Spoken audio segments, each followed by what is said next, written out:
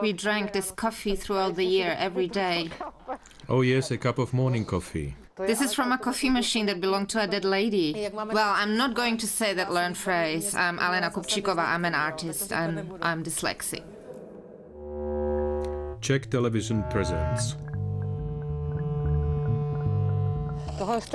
This is the photo I took, a picture of that relief. What I can read from that. Of course, the music goes on in time. It goes this way on. Here is a zero point, here are pitches, and here are, here are incurred errors. Some defects happening here. I can read this as well, what's going on between it, or this piece of paper. It's a note by itself, this defect. This and all these. That's actually a score which was created as a natural reaction to people walking this place. Cars going, and underneath you can hear the train, probably with some vibrations. Music is read from left to right, but I have been occupied for a long time with the thought why couldn't it be inward? Documentary by Jaroslav Černý. This is a sketch, a sketch of an asphalt score. It looks like asphalt, a road, an African road.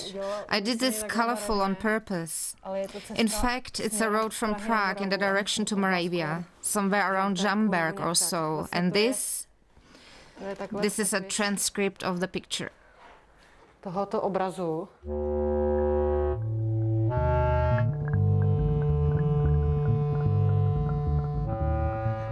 In the rhythm of Alena Kupčíková. Here's the fruit. Now I don't know whether I shouldn't. It's all right. CD. Fine, and here we are. CD rhythm, and it's done. I'm dyslexic, and that's why the idea of a primer for dyslexic children came into my mind five years ago. Then I started going to kindergartens and studying how children perceive the letters according to shape, color, and sound, because I supposed that the children would perceive letters similarly as I had done when I had attended first class. At that time, it came to my mind that the primer is not the first for that business and something should precede it. When I studied all possible materials concerning dyslexia, specialized literature, I got the idea to create tests which would reveal initial problems with writing and reading before entering elementary school. Actually, this is related to it. It interested me a lot. I thought, well, there is finally some writing. I asked the children what they saw in letters. This is a good example of a boy. It was in the year 2005. He was born 98, so he was approximately six years old. And from this one, you can see that he's going to have a problem. He's not able to imitate anything using the toy cubes. Above all, this is my childhood, antlers and such stuff. My father and the whole family were ardent hunters. My father doesn't live any longer, but the antlers remained here. This used to be my and my brother's bedroom. When I was four, I used to climb this tree. I had older brothers, and they climbed this tree as well. Could you please hold me? I put my leg over here. You're not holding me at all. Fine.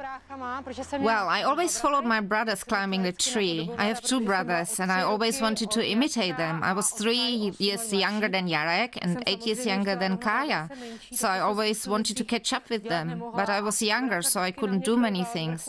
My brother used to spit at me and to throw stones at me from the top, so that I wouldn't climb up to them. I solved it by putting a helmet on my head. Well, now I can see all around.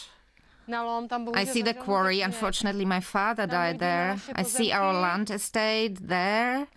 Here I see the shop. I see the whole area. She was a strange child. In the kindergarten, she used to play with her hands like this. I was looking at them. They told me it was an escape from something she didn't like. It's hyperactivity. She's lively, she's not interested in it, so she plays with her hands. They sent me two times to. You saw the psychiatrist in Šumperk two times. He said that there was no need to worry, she was all right. Is anything inside? Yes. This is my brother. I want to put the rest inside. Did you pick everything? No, this is not all yet. I wanted to pick everything. Alena was good at many things. She attended a young firefighters group, learned playing guitar, attended a hunters group. You were doing exercise, ping pong, volleyball, and since the age of four, I have been swimming. When she was 14, she left home. She was coming back once a week only. Then she was in Bechyně, so she was away for two weeks. Then she attended secondary school in Prague and later university. At that time, she was returning home rarely, and now I see her twice a year only. Well, Look, you have a B. AC in Czech language in the first class, and then later, second class the same.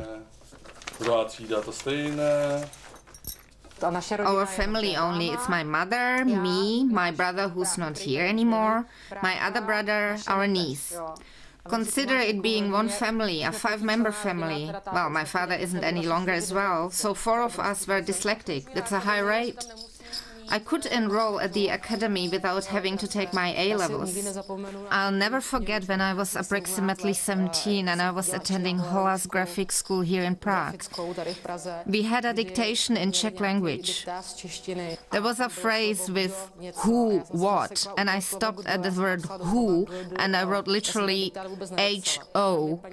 I didn't finish the dictation at all. My Czech language teacher at that time told me she wouldn't let me take the final exam. Fortunately, I was admitted to the Academy of Fine Arts in the meantime, so I thank my professor that he spared me from it. Maybe I wouldn't have passed the final exam in Czech language because my composition might have been marked AF. Here are some drawings. They might be from the time before I attended the academy. Here I was in a zoo. This was an exam script, probably at secondary school. It wasn't easy with me. I attended quite many secondary schools and I didn't finish any of them. Today I'm working on my doctorate. It's quite fun. I brought this to Aleš Veselý, my professor, to show him what I'm doing.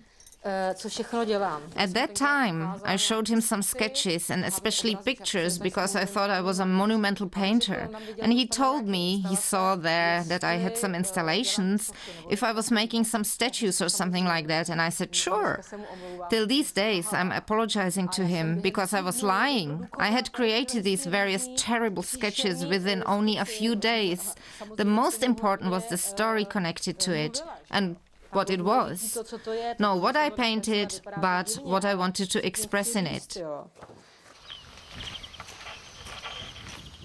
Alena was probably my favorite student because we are the person you communicate with on the basis that one is a teacher and the other one a student.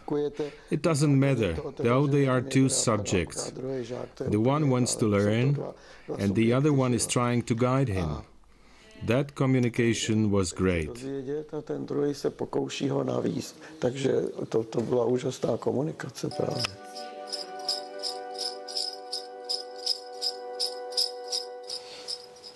I told off our professor for marking us with Bs. It was in the third or fourth year. No, no, no, no. It was crazy. You came with such a disillusionment of life. You gave me a B. You never prized me. And I said, I do constantly write how good you are. For Alena, my favorite and probably my best student. This is the menu with toadstools and there are more tasks under each mushroom. Do you know, when I was looking at it this way, I thought they were strawberries. Okay, let it be strawberries.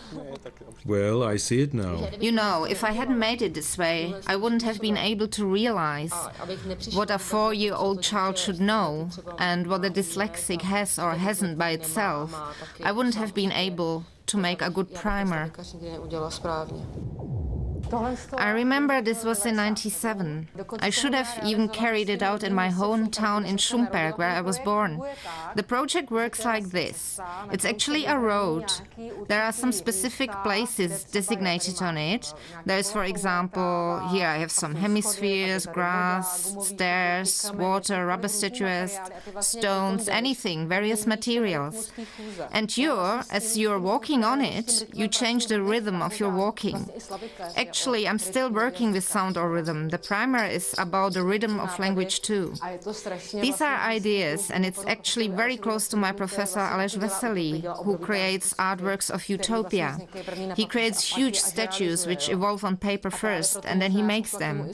And that's the reason why I wanted to learn from him, or probably he chose me, for I have the utopia within myself. This is a project for the entry examination for the academy. It's actually a live record. You enter it, and there are various holes, and it's as if you're throwing a dice. I invented ladders and climbing frames, so one would have to overcome them. Here's number 227, which was my number for the talent exams. It's an installation where there are a lot of flies and various gnats, and when you get up in the morning, they annoy you, and it's terrible. So I thought up that you get into it, enter it, and see the flies like under small glasses, and they can't get to you, though, as a simulation, you're hearing the buzzing. I look up tunnel in a tunnel. This is what I wrote. When I hate flies, I climb the stairs, that's actually inside, to the second small tunnel towards the small glasses. I see only a small point in the distance, the silence, wonderful. This probably, this probably isn't the first one. It may be this one. Where I was trying, I played with it. I pasted the pubic hair on this place only. And later I started making the whole figure and outlines from it. And here I show you one of the first hairy women as well. It's in a frame, for it's not laminated at all. And here I even use the powder, which women use for makeup. Here you can still see glue. That might have been in 2001. Later I realized that I can't give people pictures which are under glass, as the hair would pour out. So I put plastic film on it, and if you iron it, the hair can't fall down. to potom zažehli žehličkou a ty chloupky vlastně nemají šanci, aby spadly. Today I think that they censored me in Paris because of this woman. The whole picture is made from pubic hair. Everything is on handmade paper, of course. It's a prize they award to three foreigners around the world and to three French. In that particular year, I was awarded, actually, Czech Republic, Switzerland, and a Croatian got the prize. The wife of the French president, it was Chirac at the time. Mrs. Chirac should have given me the prize. And when they realized for what I was awarded the prize, they hadn't known until then, she was a means only, they stopped it for everybody. It's a cock up. Why should they have done that? It's an absolute drudgery. In 2003, I guess, when the first exhibition was held, at that time people were looking at it, what it was. At that time, it was even difficult to get some pubic hair, so I gradually shaved my family and friends. And today I have a lot of material from different parts of the world. This I have from the Republic of South Africa. People use various wrappings.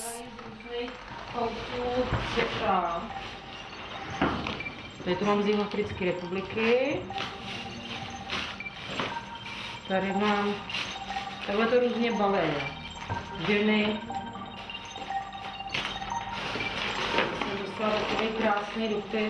Here I got a wonderful letter from South Africa. Good luck. These are genuinely red. This is one of the last letters. It's, it's from Brooklyn. Some women said that they wanted to be removed from the video recording I had created as a documentary picture. When the participant is looking at these erotic drawings, an illusion that you're thinking about which of these women is on a particular picture. I simply wanted to create a dream of that illusion, and it works quite well. For example, at the opening, men were asking whether any of the women were there, and they were wondering which woman was which picture. This was in Rome. These two came back sometime in February.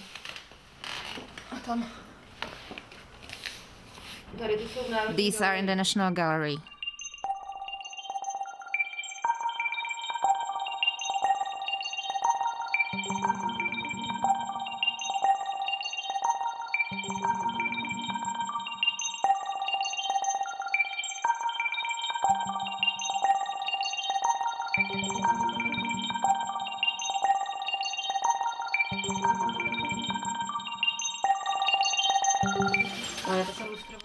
Illustrated a book using hair-made figures, you know, that I made those hairy women. It's made from hair, hair of men, women, though I put some animals in too. You brought it to such perfection.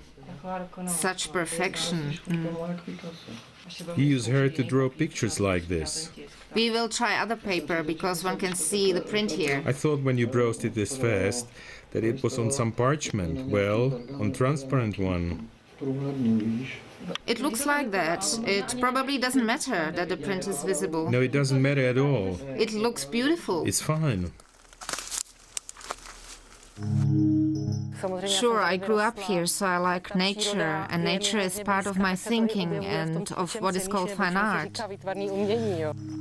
When I began to toy with the idea that a forest should be planted, or I should choose an area with various kind of trees because they sound differently, an idea crossed my mind that I had to examine a single tree first. My idea was to take a picture of the tree, then enlarge it and make a sort of handmade grid and calculate it. If I calculated the corresponding dimensions, I would get a lot of numbers. The numbers are first, second, third, fourth. I calculated from all directions. It's changing. It's not a regular circle. And now it's transformed into a staff. And here they are drums and piano.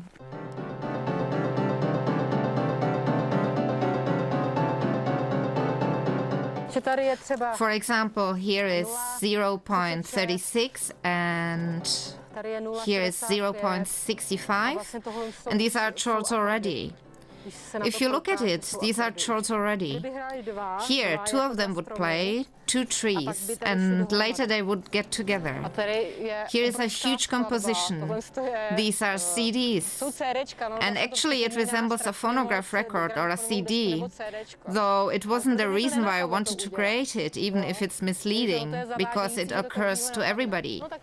Here we actually have a big library of compositions which we can listen to when we imagine in our heads or when we create a system at home as I did. For example, this, it's a nice score too, that spot. Look, it's a third. This, what is here, to read it. Put it into a staff. Either do this the primitive way and the line can be read, or we can calculate it. Using, for example, capacity, calculate the whole spot. Again, it would be a nice relief, a nice, large, long relief with all these details. For instance, this is rubber. I don't understand why it's here. It's interesting as well. And this is amazing to me too. Those, how you call them? Sewers. Sewers.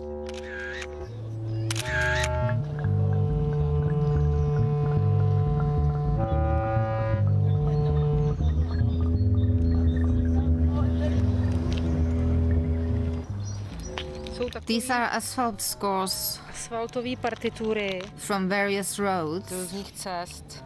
To je na Moravě. This is in Moravia, somewhere. This too. Taky. And this is Prague 7. This is H, W, and this is A, and this is O. Well, now, Natalka, you see many things here. Try to choose something from all these, from the heap, to imitate the letters here, to compose them. Let's try the first one, H. Will you try to make it? From anything you want. We have plasticine here too, if you want, or you can use the small cubes. This is why I started making the primer, because as a child I saw other things in letters. To me, the letter H was only a square. Because of this, I was kept after school, as I wasn't able to read a particular thing in the primer, and I had to copy it maybe 100 times. I recall this moment very strongly and very often, and it was the hinge why I started making the primer primer.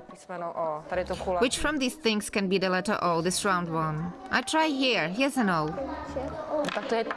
These are three O's. We're still short of one O. One more O. Oh, here. Well, this is an O too. When I was working with them, I realized that a dog might be, for example, a D, as his body looks as a D, Uh, or that the Charles Bridge looks like an E turned upside down, or that threes are Y's and X's, or that they are V's. We are not saying that this is a tree and it means a T. Here you can see an example from a girl. She's a bit older already. You can see that the letters really might be it that it would help her. She sees them the same way as me. She sees, for example, figures in those letters, shapes. I would really like to use the different perception for, in the primer and use just the shape. And provided that the important thing for a dyslexic child is not the sound but the shape, then I think this might be a way. I needed an ally that would communicate with them somehow. I was thinking about what it should be. All of us are accustomed to the mole or other various figures. The children needed the figure. There's a mouse in my tests, so I wanted to pick a hedgehog for the primer. A hedgehog that travels around the world. And the main principle of the primer is that the hedgehog has a girlfriend and they are cycling around the world on a tandem and see the letters. For example, here they are cycling, they are leaving their home, and now they see, for example, the letter A, an automobile. It's a coincidence that an A here is an automobile. And after the hedgehogs had traveled through a part of the world, and after having collected many experiences, they had to go back home to Prague.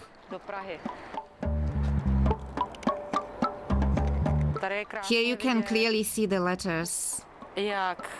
The Charles Bridge, or all the bridges, are made from C's, but the Charles Bridge is composed of several E's. Buildings. Here we have a D. We can see the National Theatre over there. It looks like the letter D. And the roofs here, they might be E's, but the windows, they might be D's as well. Prague is probably full of D's and E's. A mole is looking for something to eat, but it's dark under the earth. Draw the way it's climbing.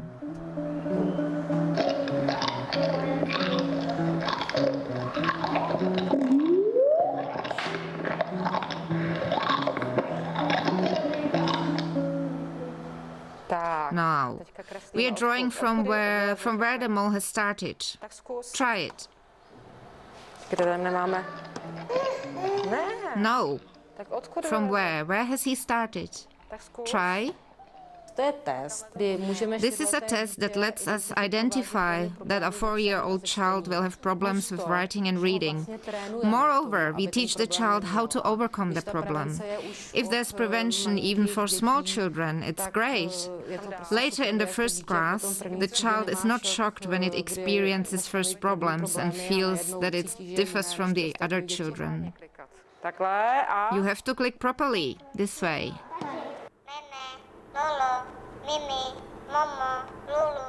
A dyslexic child or a four-year-old child might use the mouse, the look for the sound that corresponds to that what the pair is saying here on the top.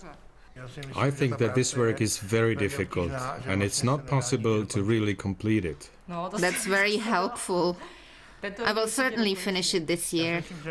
I think that you will not finish the work. You will complete it in a certain form which the Commission yes. may accept. Mm. I think that in fact this task can't be completed. Sure, it's a process, a long process. I'll have to finish it and then I will move on. Maybe in 10 15 years I will discover a simple but not trivial one and there will be everything that should be there. But it's not possible to do it within two, three years, within five years. It's difficult. The dyslexia might develop elsewhere. The dyslexia might develop. Theme and script Jaroslav Černý, dramaturgy Marek Šebeš, translation Jana Heřmanská, dubbing Petr Obětin, Sandra Trantová, archive materials Czech Television, cooperated Martin Buk, Jan Makaloš, Petr Maršík, soundtrack direction Václav Vaněček, music Alena Kupčíková, Jan Urban, editing Krasmíra Veličková, kamera Bořivoj Minazík, Matouš Kohout, head of production Vojtěch Pelák, dramaturgy supervisor Daria Macáková, production supervisor Petr Morávek, director Jaroslav Černý, produced by Centrum publicistiky a dokumentu, Czech Television, copyright 2010.